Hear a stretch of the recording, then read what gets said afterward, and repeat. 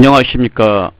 이번 시간에는 거래의 기록, 장부의 마감, 재무제표 작성에 대해서 학습하도록 하겠습니다.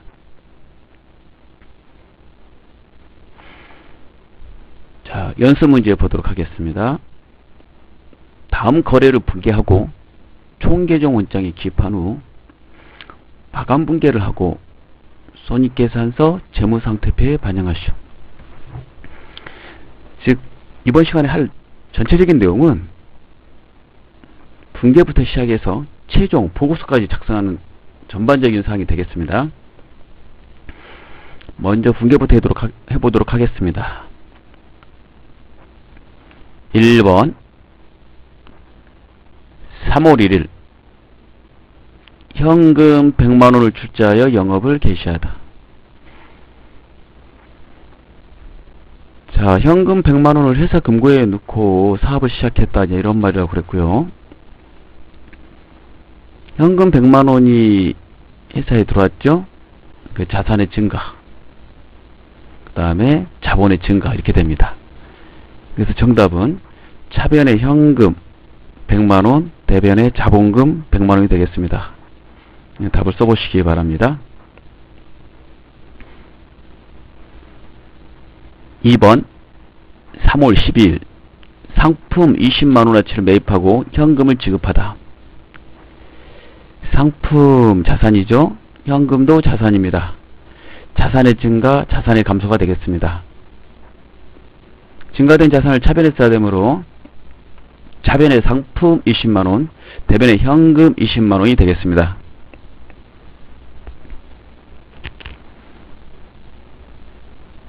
자, 우리가 이렇게 계정을 딱 보면 이게 자산이라면 무슨 자산인지 거기까지 생각이 꼭 나야 됩니다. 이게 재고 자산이고 당자자산이죠. 3번 3월 13일 책상 및 집기 일체를 15만 원에 구입하고 대금을 현금으로 지급하다. 책상 및 집기 일체 비품이죠. 유형 자산에서 학습했어요. 자산의 증가 차변 비품 15만원, 대변의 현금 15만원이 되겠습니다. 4번 5월 14일 기업은행으로부터 현금 50만원을 단기 차입하다. 현금이 들어왔습니다. 회사에 자산의 증가 차변 근데 그 현금이 빌린 돈이죠.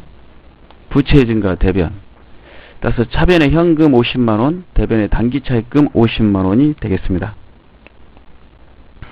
6, 5번 6, 6월 6일 6월 6일 6월 6일 대안에서 상품 15만원어치를 예상으로 매입하다. 차변에 상품 15만원, 대변에 상품을 사고 외상하면 외상매입금이라고 그랬죠? 외상매입금 15만원이 되겠습니다. 자, 계속 이어서 6번 7월 20일 한국의 상품을 30만원 외상으로 매출하다. 30만원어치 상품을 팔았다 그러면 전체 매출액을 말하는 겁니다. 대변의 상품 매출 30만원, 차변의 외상 매출금 30만원이 되겠습니다. 자산의 증가, 수익의 발생 이렇게 되는 거죠. 원가가 얼마짜리인지는 알 수가 없습니다. 30만원에 팔았다라고 그, 그, 말만 하고 있고 외상으로 팔았다 그러니까 그 부분만 회계 처리하는 거예요. 지문에 있는 그 부분만. 그 다음에 8월 30일 정도의 현금 8만원어치를 3개월간 대여하다. 돈을 대여를 했습니다. 3개월간 단기 대여금 자산의 증가죠. 대변의 현금 되겠습니다. 8번 9월 5일 상품 35만원에 매입하고 매입하고 그래서요. 차변에 상품 35만원 20만원 현금으로 지급하고 대변의 자산의 감소 현금 20만원 대변의 현금 20만원 그 다음에 외상으로 하다 상품 사왔으니까 대변의 외상 매입금 15만원이 되겠습니다. 10번 외상 매입금 10만원을 현금으로 지급하다 그랬으니까 외상 매입금이 부채잖아요. 그 부채를 갚았다 이런 말이므로 차변에 부채 감소 감소된 부채 외상 매입금 써야 되고 대변에 현금이 되겠습니다. 자산의 감소가 되죠. 10번 10월 10일 현금 25만원어치를 기업은행에 당자입하다라고 그랬으니까 차변에 자산의 증가, 당자예금, 당자예금 자산은 증가했고 대변에 현금 25만원, 현금 자산은 감소했습니다. 11번 보겠습니다. 10월 19일 사무직 월급 10만원을 현금으로 지급하다. 차변에 급여 10만원, 대변에 현금 10만원이 되겠습니다. 12번 11월 1일 외상매출급 12만원을 현금으로 회수하다. 현금 받았다는 말이므로 자산의 증가 차변에 현금 써야 되고요. 대변에 외상매출금을 받은 것이므로 자산을 감소시켜야 되겠죠. 감소되는 자산은 외상매출금이 되겠습니다. 12번 단기차입금의 일부인 30만원과 그 이자 5천원을 현금으로 지급하다. 단기차입금 전체 금액 중에서 30만원 온금하고 그 이자 5천원을 현금으로 지급했다는 말입니다. 단기차입금은 부채고 이걸 지급했다고 그랬으니까 단기차입금이라는 그 부채는 감소가 돼야 되겠죠? 예, 부채 감소 차변 단기차입금 30만원 그에 따른 이자, 이자 비용, 비용의 발생 차변 예, 대변의 현금 이렇게 되겠습니다. 현금은 30만 5천원이 되겠죠? 14번 12월 31일 기말 재고 조사한 바 상품은 55만원 남아있어 재고 정리를 하였다. 14번 마지막 문제를 풀려면 어떻게 해야 되냐? 상품 계정을 확인을 해야 됩니다. 즉 지금까지 상품을 얼마치 사왔는지 확인을 해야 되고 그래서 그 결과 장부에 있는 상품 사온 거에서 창고에 있는 재고를 조사하고 그 차액을 팔린 걸로 회계 처리해라 이런 말이 되겠습니다. 그래서 이렇게 상품에 팔려나간 원가를 기말의 실사에서 즉 창고에 있는 재고를 조사해서 회계 처리하는 방법이 실사법이라고 그럽니다. 이런 방법을 실사법이라고 그러고 제품에 또는 상품에 감모가 없을 경우 상당히 편리한 방법입니다. 시험 볼 때는 물건을 사올 때는 상품이라고 적고요. 그 다음에 그 물건에 이익을 붙여서 팔 때는 상품 매출이라고 회계처리를 한 후 항상 결산 시에 매입한 상품하고 그 다음에 창고에 있는 재고를 직접 조사해서 상품의 재고를 조사해서 그 팔려나간 원가를 계산하는 방법으로 시험 문제가 출제됩니다. 그래서 이 문제처럼 시험 문제가 나온다고 보시면 되겠습니다. 그러면 상품은 언제 사왔는지 일단 확인을 해봐야 되는데 해당되는 것을 온장에 직접 기입을 했다면 해당되는 상품 장부를 얼른 보면 금방 알 수가 있습니다. 자, 우리가 앞에서 기록한 것만 잠깐 보도록 하죠. 처음에 3월 12일에 상품을 음, 처음에 3월 2일에 3월 어, 12일에 상품을 사왔고요. 그 다음에 쭉 보시면 6월 6월 6일에 또 상품을 사왔어요. 자, 그 다음에 9월 5일에 상품을 사왔죠. 그래서 이렇게 상품 사온 것을 다 합산하면 얼마가 되냐면 그 세 개 합산하면 그 상품을 사올 때마다 여기다 이게 적어놔야 돼요. 이렇게요. 예, 즉 분계를 하고 해당되는 장부에다 이렇게 정기해서 적어놔야 됩니다. 3월 10일, 6월 6일, 9월 5일 상품 사올 때 차비에다 적는 거니까 그때 20만원, 15만원, 35만원 이렇게 각각 해당되는 장부에다가 분계를 하고 이렇게 옮겨 놓으면 차변을 딱 보면 상품 매입한 거 70만원이라는 거알 수가 있게 돼요. 70만원어치 사왔는데 55만원어치 남아있다라고 그랬으니까 팔려나간 거는 15만원어치 팔려나간 것을 알 수가 있죠. 그 마지막 회계 처리가 차변의 상품 매출 원가 팔려 나간 원가는 비용 처리해야 되므로 차변의 상품 매출 원가 대변의 상품이 되겠습니다. 이렇게 분계를 마치고 나면 해당되는 부분을 분계장이나 전표용지를 갖다 놓고 장부에다 옮겨져가 됩니다. 즉 온장에 옮겨져가 되는데 그 옮겨 적는 과정을 전기라고 합니다. 네, 지금부터 전개하는 방법을 예, 설명을 드리도록 하겠습니다. 첫 번째 1번 보도록 하겠습니다.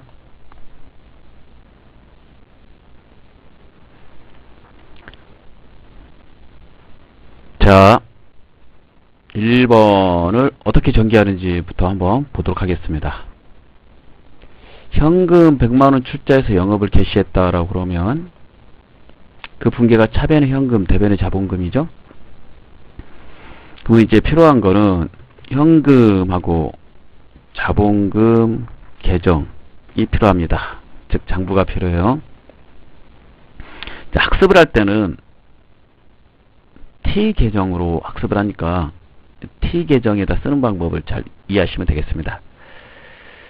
차변의 현금 100만원이죠. 정답. 이렇게 답 써놓으신 거 여러분 보시면서 생각하시면 되겠어요.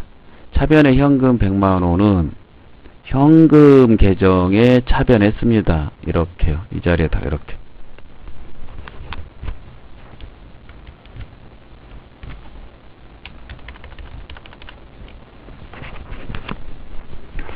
자, 그 다음에 대변의 자본금 100만 원은요.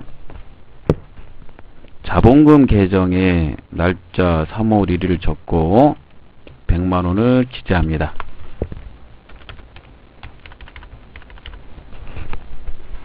아, 대변에 쓴 것이므로 금액을 대변에 쓰는 거죠.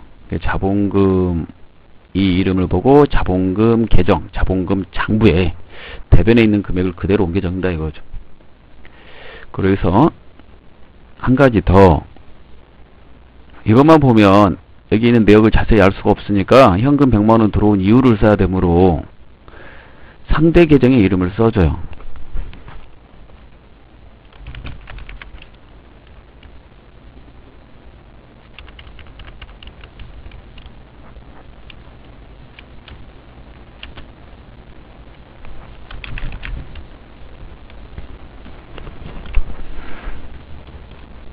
자 이렇게 말이죠. 이런 식으로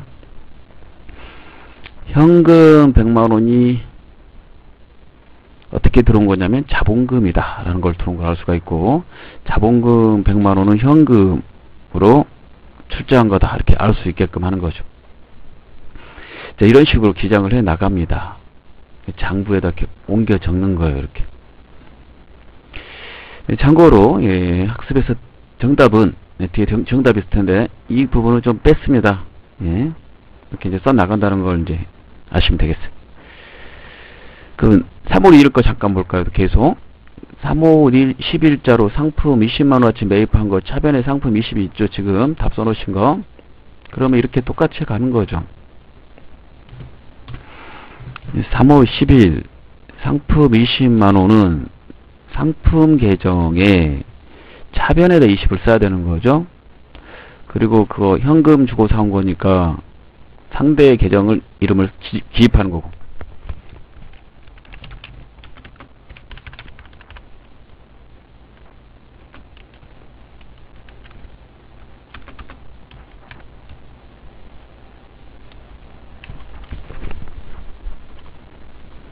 자, 이렇게 3월 10일자에다가 다음과 같이 기입을 하면 되겠어요. T 계정으로 학습할 때. 그러면 상품 20만원어치를 현금 주고 사왔다 이렇게 되는 거고요. 3월 10일자 현금 계정에 따라서 또 3월 10일자 현금 계정에 현금 대변에 12, 20만원 나간 거니까 20을 쓰게 되고 왜 나갔는지 이유를 써야 되는데 상대 계정에 이름을 써주면 되겠죠. 상품 사오면서 나갔다. 자, 이렇게 기입하시면 되는 것입니다. 자, 이렇게 쭉 기입해 가는 건데요. 기입을 하다 보면 이런 것도 나올 수 있어요. 좀 내려가 보면 8번 풀었던 거 잠깐 보겠습니다. 상품 35만원에 매입하고 그랬죠? 9월 5일자로 6월 6일자 상품 사온 거는 생략하고 지금 이해를 돕기 위해서 9월 5일자 볼게요. 상품 35만원 차변에 있으니까 그 35만원은 상품 계정 차변에다가 옮겨 적고 이게 지금 정기하는 겁니다. 그 다음에 대변의 현금, 대변의 외상 매입금이죠. 그러면 현금 그 뒤에 나간 거 어, 그거 3월 13일 나간 거 있고요. 이거는 잠깐 생략하고요. 우리가 하고자 하는 그 8번만 옮겨 적는 거 설명하는 게 목적입니다. 9월 5일 20만원 이렇게 되겠습니다. 자, 그리고 외상 나머지 15만원 외상 처리가 돼야 되죠. 외상 매입금은 부채이므로 외상 매입금의 부채 자리 대변에다 써놨잖아요. 외상 매입금을 대변에 날짜 9월 5일을 적고 15만원 이렇게 쓰게 됩니다. 이제 뭘 가르쳐 주려고 그러냐면 상품으로 가서요. 그 내역을 써야 되는데 상대 계정 이름을 써야 된다고 그랬죠? 현금하고 예상 매입금 그 계정이 두 개나 나옵니다. 그러니까 이럴 경우 뭐라고 쓰는 거냐면 T 계정으로 학습할 때 제좌라고 씁니다. 죄자. 여러 개의 계정이 있다. 이런 말이에요. 즉 상품 15, 35만원어치 사올 때 하나만 주고 사온 게 아니라 여러 개를 주고 사왔다는 말이에요. 즉 현금하고 예상매입금 이렇게 사왔다 이런 뜻을 의미합니다. 즉 여러 개가 있다 상대 계정에 그걸 다 쓸 수가 없으니까 이렇게 씁니다. T 계정을 학습할 때 물론 이쪽에 9월 5일자 상품 20만원 현금 지급한 거는 여기다 상품이라고 써놓으면 되죠. 이렇게 음. 상대는 하나씩 밖에 없으니까 이렇게 쓰면 되고 그 다음에 15만원 나중에 주기로 한 외상매입금 15만원은 상품 타고 외상매입금이 생긴 거다 그러니까 상품이라고 이렇게 옆에다가 써주면 되는 거예요 예. 자 이런 식으로 써 나가는 것을 학습하게 돼요. 상대 계정이 계정이 계정 계정이 두 개 있다. 두 개 이상 있다. 여러 개 있다. 이런 뜻이고요. 두 개 이상 있으면 제자라고 쓴다는 거. 네, 이거 그 뒤에 답에다가 한 번 더 써놓으면서 써놓으면서 중요 표시 한번 해 주십시오. 우리는 전반적으로 옮기는 방법하고 그걸 마감하는 게 배우는 게 목적이니까 이 글 쓰는 거는 생략을 했, 습니다. 계정 쓰는 거는. 계정 쓰는 거 생략을 했지만 시험을 대비해서 시험을 대비해서 이렇게 써 나간다는 것도 알고 계셔야 돼요. 예. 그래서 이게 나오면 무슨 뜻인지 알아야 됩니다. 원장에 이렇게 해당되는 계정에다 옮겨 적은 거 보고 원장에 옮겨 적은 거 보고 역순으로 분계도 할 수 있어야 됩니다. 그럼 이렇게 하면 정답을 다 이렇게 기재를 하게 돼요. 예, 쭉 넘어가서 정답을 보면 다음과 같이 이렇게 기재를 하게 되는 거죠. 이렇게 네, 쭉 기재를 하고 나면 이제 마지막이 중요한데요. 이걸 마감을 하려고 준비를 해야 됩니다.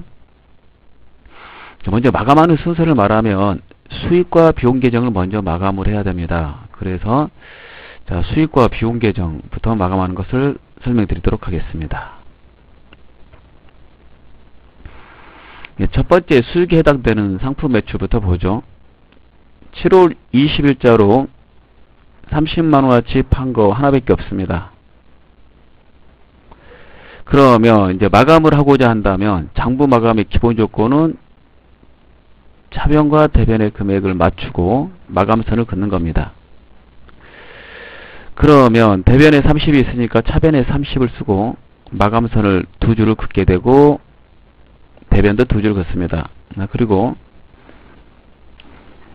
수익과 비용은 마감을 하면서 그 차액을 알아내야 되거든요. 그래서 그 차액을 알기 위해서 즉 수익이 큰지 비용이 큰지 그 차액을 알기 위해서 해당되는 수익과 비용을 손익계적으로 전부 다 옮겨 적습니다.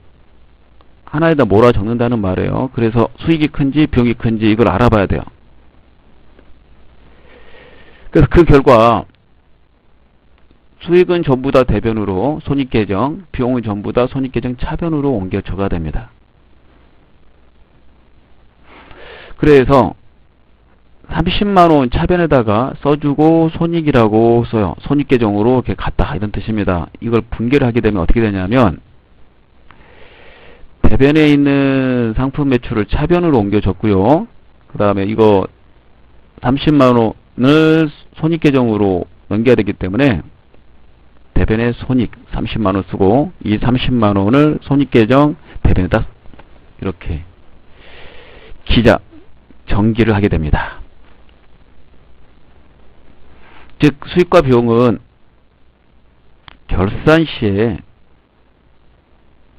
그 계정을 마감하면서 분개를 한번 반드시 하셔야 되고요. 그 다음에 그 분개 결과의 내용물은 손익으로 간다는 겁니다. 자, 비용 볼까요? 상품 배출원가, 상품 배출원가 결산 시에 회계 처리해서 차변에 나왔죠? 비용의 발생. 그러니까 얘가 이제 어, 마감하려면 대변에 15만원 써야 되고 마감선 긋고 이것도 마찬가지로 손익 계정으로 가야 되니까 분개를 해야 돼요. 수익과 비용은 분개하는 겁니다. 결산 시에 마지막으로 손익 계정으로 대체되는 분개하는 거예요. 손익 계정 대체되는 분개를. 그래서 비용들이 지금 매출원가 하나 있는 게 아니고 상품 매출원가, 급여, 이자 비용 세 개가 있으니까 얘네들 전부 다 대변으로 이렇게 다 옮겨줬고 그러면 장부에서 소멸되겠죠. 해당되는 장부에서 사라져요. 손익계정으로 대체돼야 되니까 손익. 그래서 이 세 개가 전부 다 손익계정 차변에 온 걸 알 수가 있습니다. 그래서 급여 마감됐고요. 이자 비용 마감됐어요. 이렇게. 마감되고 그 마감하면서 분개를 해야 된다고 그랬죠. 왜냐하면 마감하고 그걸로 끝나는 게 아니라 마감한 후에 수익과 비용의 차액을 알아내야 되니까 그걸 알기 위해서 장부를 마감하면서 그 수익과 비용의 전체 금액이 손익계정으로 갈 수 있도록 분개를 한 번 더 해야 돼요. 이를 손익계정 대체 분개라고 합니다. 시험에 좀 나왔던 거예요. 예, 알아두셔야 됩니다. 그럼 그 다음 단계는 뭐냐면 수익 비용 전부 다 마감되면서 이제 장부에서 소멸됐어요. 이렇게 되면 제로가 되죠. 0이 전부 다 없어져 버린 겁니다. 그래서 수익과 비용은 1년간만 사용하는 한시적인 계정입니다. 없어진 것들은 집합손익 정확한 이름이 집합손익인데 줄여서 손익이라고 그래요. 그 집합손익, 즉 수익과 비용을 전부 다 갖다 놨다 이런 거죠. 집합손익 계정으로 옮겨진 거고 집합 손익 계정에 옮겨진 수익과 비용의 차액을 보면 지금 수익은 30만원 난 걸 알 수가 있고요. 이제 비용은 수익보다 덜 썼죠. 4만 5천원의 차익이 발생했습니다. 이게 번 겁니다. 수익에서 비용을 뺀 차익이 있다 그러면 그게 단기 순익이라고 흔히 말하는 순익이 됩니다. 그 순익, 그 차익을 알아내서 그 차익을 갖다가 써주고 부족한 쪽에다 써주고 손익계정도 마감을 해요. 이렇게 두 개 금액을 일치시키면 마감됩니다. 두줄 코. 그럼 이건 어떻게 하냐 그러면 개인기업에서는 이 손익이 생기면 자본금에다가 수익은 플러스예요.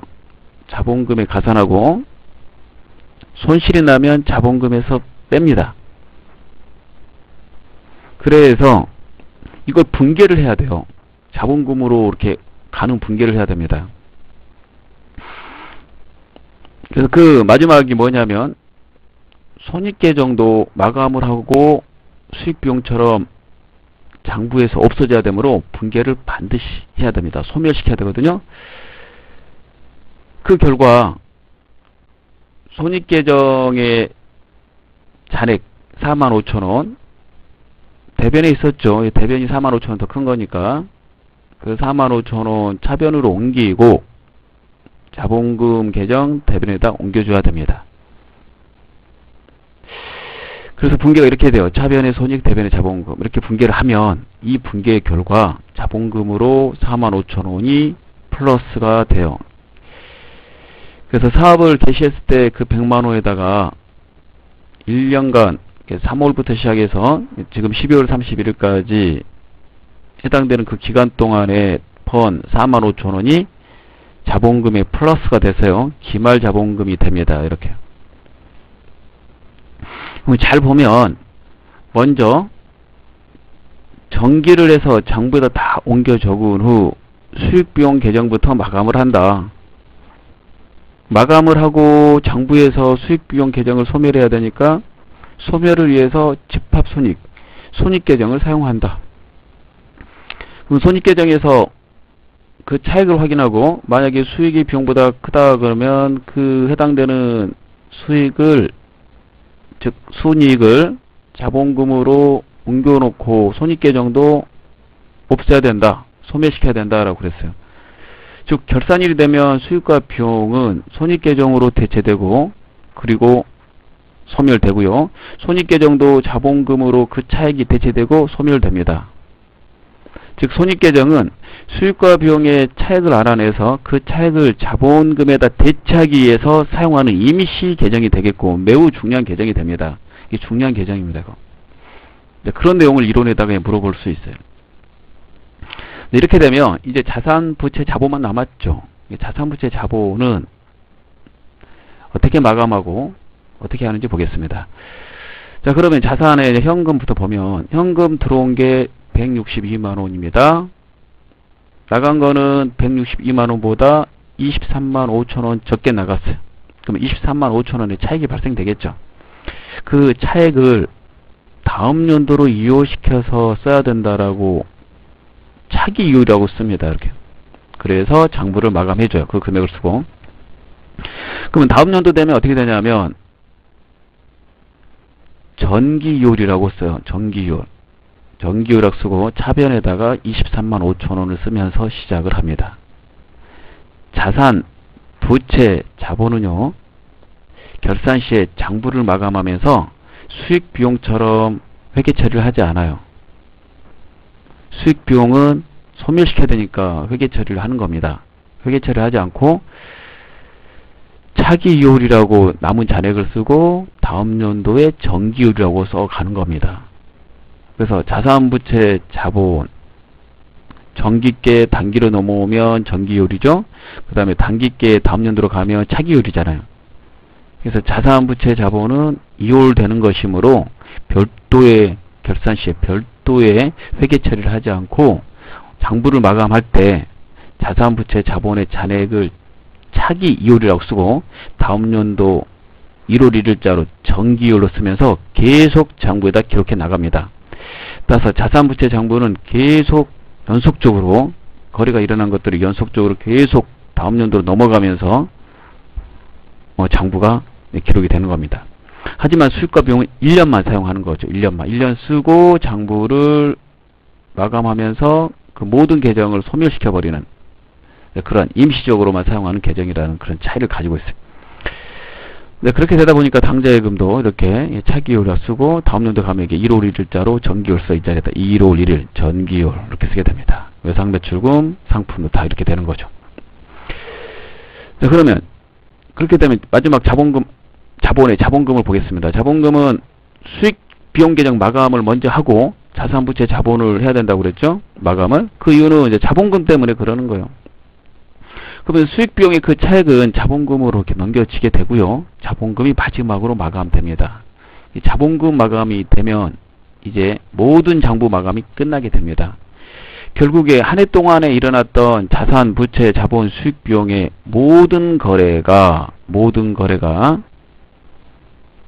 결산일이 되면 마감이 되면서 다음 연도로 넘어간다는 것을 알 수가 있습니다. 다음 그 넘어가는 차이가 자산, 부채, 자본은 이제 그대로 넘어가는 거지만 수익 비용은 소멸되면서 그 차액이 자본금에 반영돼서 넘어간다 이거죠. 네, 그게 중요한 사실이잖아요. 그렇게 되면 이제 보고서 작성을 마지막으로 하게 됩니다. 네, 가장 많이 시험에 나오는 보고서 보겠습니다. 손익계산서, 재무상태표 이 보고서로 시험에 나옵니다.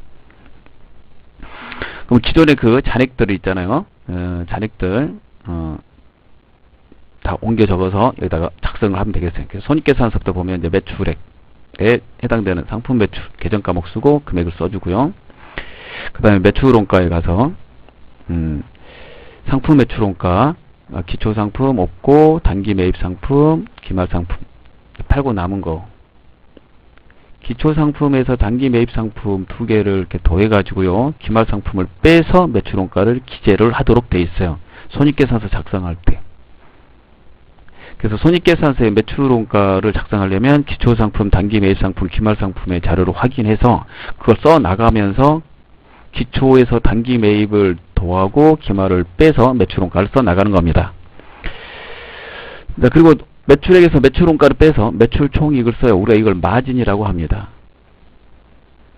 이제 물건을 어, 전체 매출 30만 원 올리기 위해서 그 물건 15만 원짜리 판 것만 가지고는 30 올릴 수 없고요. 그 팔기 위해서 들어간 비용들이 있겠죠. 그걸 판관비라고 그러는데 판매비와 관리비, 그 판매비와 관리비를 밑에다 써요. 이 판관비까지 빼야지 비로소 영업이익이 나오게 됩니다. 만약에 이게 마이너스면 영업 손실이라고 그러겠죠. 예. 그 다음에 영업의 수익과 영업의 비용이 있으면 쓰는 건데 이 예산은 영업의 수익이 없고 영업의 비용, 이자 비용만 나간 게 있으니까 이자 비용을 쓰게 되고 영업의 수익 더하고 영업의 비용을 빼요. 그러면 소득세 비용 차감 전 순이익이 나오고 마지막으로 소득세를 빼면 단기 순이익이 나오게 됩니다. 이 결국 매출액에서 매출원가를 빼서 매출 총익을 구하고 판매비와 관리비를 빼서 영업이익을 구하고 영업의 수익과 영업의 비용을 더해서 소득세 비용 차감전 순이익을 구하고 마지막에 소득세 비용을 빼서 단기 순이익을 구한다는 거죠. 일단 플러스 마이너스를 한번 해보세요. 이걸 암기하셔야 되거든요. 영업이익까지. 무조건 영업이익까지는 알아야 돼요. 1호 문제를 위해서 매출액에서 매출원가를 빼다 빼기 표시하십시오. 그 다음에 이거 매출원가 구하는 방법 외워야 되는데 기초상품에다가 더하기 더하기 이것도 빼기 이 자리. 그 다음에 판매비와 관리비 옆에다 빼기 하면 영업이익이 나오는 거고 이거 더하기 빼기 이렇게 됩니다.